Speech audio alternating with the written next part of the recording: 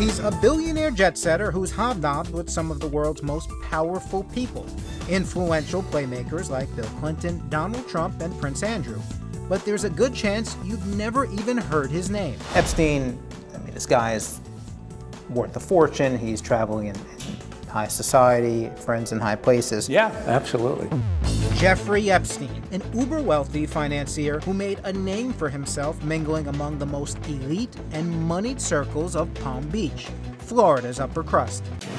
Now, James Patterson, one of the most prolific authors of all time, is spilling lurid details about the man to Crime Watch Daily, from his explosive new expose, Filthy Rich. This guy had everything going for him in terms of things he could do in the world, for, for, for, for better or worse. And for worse is where this story takes a very dark turn indeed, because the man who has in the past categorized his business as, quote, investing in people, can now add this distinction to his portfolio convicted pedophile. The 63 year old allegedly has an insatiable sexual appetite for girls young enough to be his granddaughter. Jeffrey Epstein arrested for being a pedophile. Yes. You say underage girls. How young are we talking about? 13, 14, 15. At least 40 of them. Yes. Arrested for having some kind of sexual relations of some sort of, of uh, touching, feeling, and whatever with 40 girls. Here's how cops say it all went down.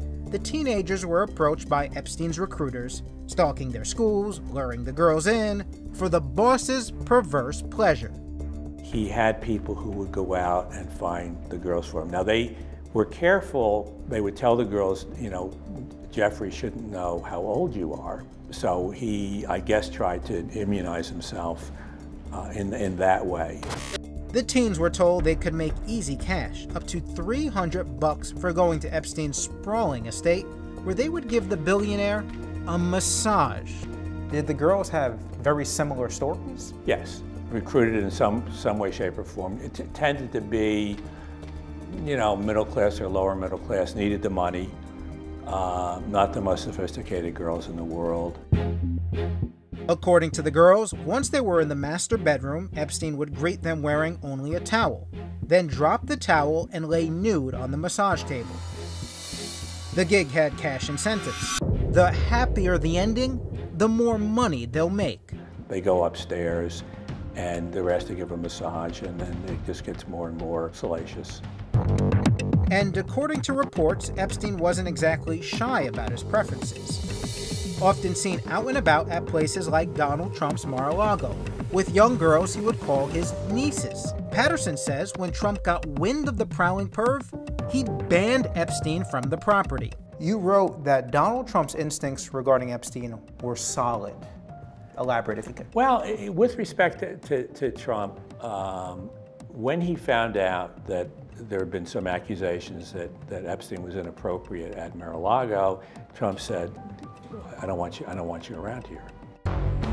But when it came to his twisted fantasies, Epstein had plenty of other places to go to, all just a quick trip away aboard his private Boeing 727, dubbed the Lolita Express. Tell me about the Lolita Express.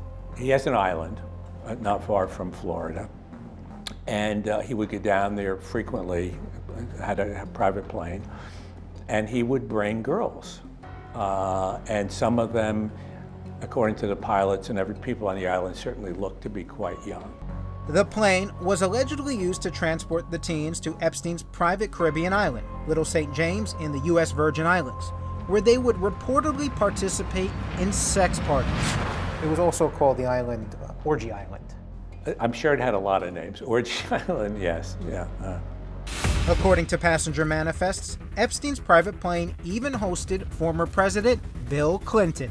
Bill Clinton traveled on Epstein's air, airplane several times. You know, we, we were aware of 11, but we never heard anything that implicated uh, Clinton in any kind of, you know, improper behavior.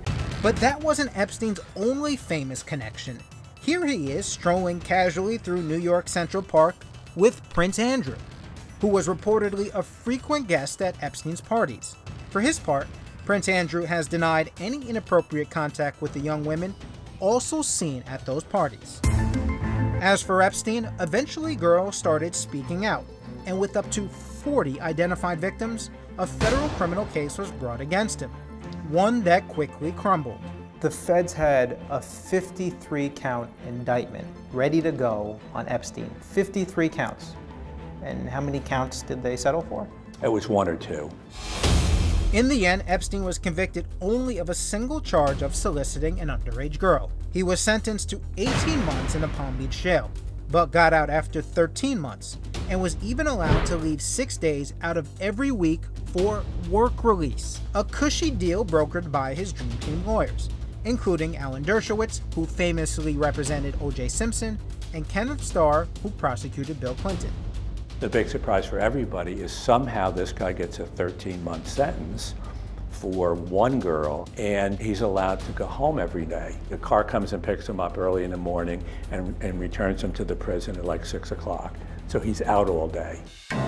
As part of the deal, Epstein did have to register as a level 3 sex offender, a classification that rules him, quote, a threat to public safety. Today, it seems Epstein is keeping a lower profile, staying far away from his Palm Beach mansion, spending his time instead at his Virgin Island retreat, still sitting on a reported $2 billion in wealth, and now living as a convicted pedophile. This is a story about privilege and the abuse of privilege.